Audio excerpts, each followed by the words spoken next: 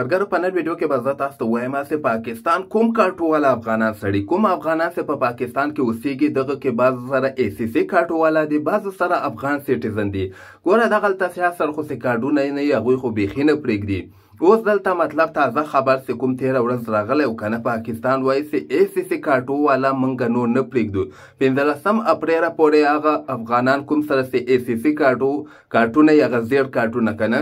دوی وای منګ نه پریدي دوی به اول دوی ته منګ وویل چې ځانونه 15 اپریل نه تاسو ځان وباسئ مطلب اختر نه دوه درې ورځو کې تاسو مطلب پاکستان نه ځان وباسئ که چېرته دوی لا نه نو بیا به منګ دوی نیسو او ډایرک به په تورخم باندې ریپورت کوو ډیپورت کوو کنه افغانستان ته او بل خبره دا ده چې دغه نه ورسته ما د دوی دغه یو ویب سټ کته کنه په دې کې لیکلي دي چې دغه نه ورسته افغان سټیزن کارت والا باندې همدغسې عمل کېږي چا سره چې افغان سټیزن کارډونه دي که نه هغوی به منګه وای افغانستان ته لیږو دا تازه خبر نن راغلی ده ما وکته نو ګورو وخت سره څه کېږي خو فعل حال